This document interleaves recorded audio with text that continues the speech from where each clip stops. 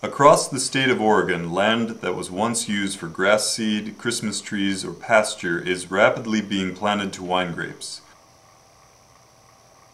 Over the past decade, acreage planted to wine grapes has more than doubled, with over 1,500 acres of new plantings every year since 2006.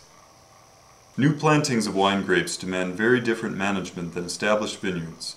Alleyway cover crops, in other words the vegetation growing between the rows as seen here, have been used to fulfill many management goals including soil building, reduced erosion, improved water quality, increased beneficial insects, improved labor traffic, and increased nutrient availability to vines. However, the current standard management of young vineyards dictates that alleyways be kept free of vegetation with the intent of limiting competition for water and nutrients. There are many creative and effective management regimes for cover crops that have yet to be explored in a controlled manner. Viticulture researchers at Oregon State University have begun to evaluate several management strategies to determine if cover crops can meet vineyard management goals while enhancing the establishment of young vines. The multi-year project is being conducted in the central Willamette Valley in a new planting in Olson Family Vineyards. A green manure cover crop of crimson clover and cereal rye was planted in fall of 2008 and managed according to five different treatments in May 2009. What is considered the control treatment is an alleyway that was not planted to rye and clover and was sprayed with glyphosate in the winter.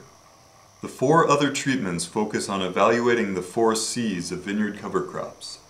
Competition with vines, contribution of nutrients, conservation of water, and control of weeds. The first management treatment represents growing a cover crop and incorporating the biomass, or total growth, in the alleyway. The second treatment will remove that biomass, and when compared to the first treatment, will shed light on the controversy of whether cover crops actually compete with young vines. The final two treatments take management a step further to evaluate how a mulched cover crop may contribute nutrition, conserve moisture, and control weeds. In the industry, this practice is commonly known as mow and blow and may be used in a wide array of cropping systems. One of the mulching treatments uses a standardized density of cover crop mulch at 1 kilogram per square meter, which is roughly equivalent to the amount of biomass generated by an adjacent alleyway. The second mulching treatment uses three times this density at 3 kilograms per square meter, which means supplemental mulch must be brought in from a bank of cover crop elsewhere on site. The mulches will be left on the surface throughout the season and monitored for rate of decomposition as well as percent nitrogen and percent carbon. The principal investigator, Dr. Patty Skinkis, and her graduate student, Levi Fredrikson, are measuring the total amount of biomass produced by 30 meters of alleyway, which is a treatment replicate. The biomass is being sampled for percent moisture and nutritional contents and will later be returned to the field according to treatments.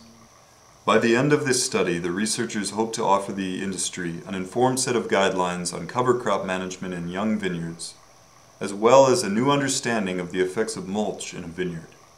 If cover crops can be managed according to these experimental methods, vineyards may reduce inputs of herbicide, synthetic fertilizer, and supplemental irrigation.